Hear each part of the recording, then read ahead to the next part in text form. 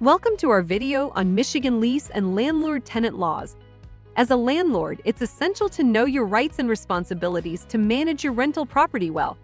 With that in mind, here are some important points of landlord-tenant laws in the Great Lakes state.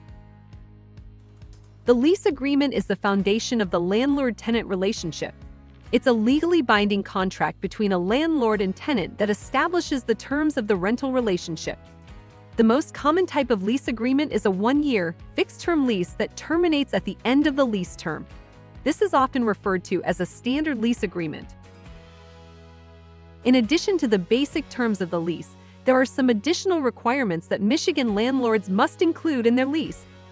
Landlords must include an address for the landlord where tenants can send legal notices.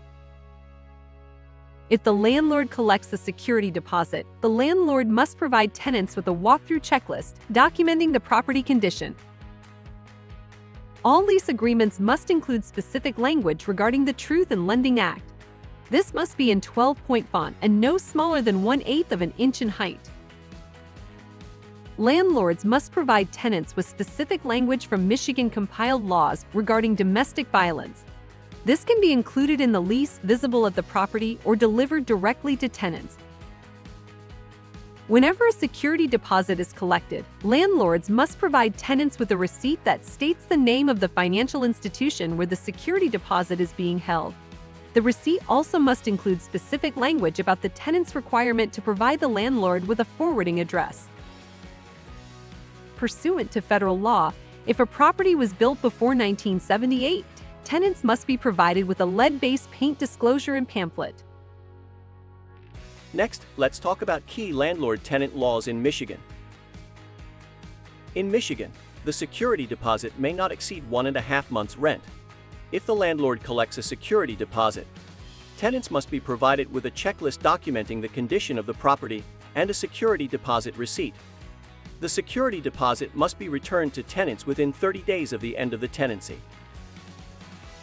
Michigan does not provide specific guidelines about entering a property for non-emergencies, but we always recommend that landlords provide at least 24 hours written notice. Michigan does not have a set limit for late fees. However, the fee should be reasonably related to the expenses incurred due to the late payment. Michigan landlords may require tenants to get renter's insurance, and we always encourage landlords to do this. Return payment fees may not exceed $25 if the amount is paid within 7 days of receiving notice of the return check, or $35 if the amount is paid within 30 days of receiving notice of the return check. All Michigan landlords should be familiar with lease termination and renewal laws. Fixed-term leases terminate at the end of the term, unless otherwise stated in the lease agreement. Month-to-month -month leases can be terminated by either party with one month's notice. Michigan does not impose a limit on how much a landlord can increase rent. However, the lease should specify the procedures and notice requirements for rent increases. Michigan law requires landlords to maintain the rental property in a habitable condition. This includes ensuring essential services like plumbing, electricity, and heating function correctly. Tenants must promptly notify landlords of any necessary repairs.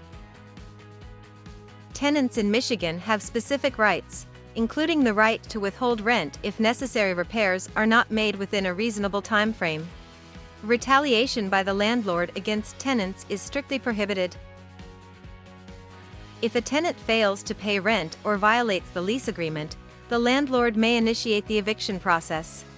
When doing so, landlords must adhere strictly to Michigan law, and landlords can never resort to self-help eviction methods, such as changing locks or shutting off utilities.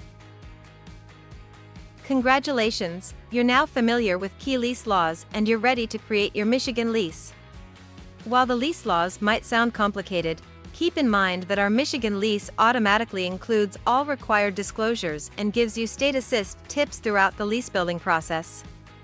Before you turn over possession of your rental, make sure you've screened all tenants, have an executed Michigan lease agreement, and you've collected the entire security deposit and first month's rent.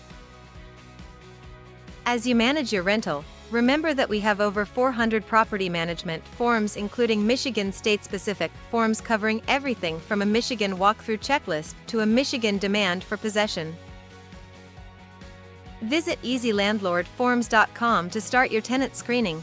Create a Michigan lease agreement that's guaranteed to comply with all Michigan lease laws and access Michigan property management forms.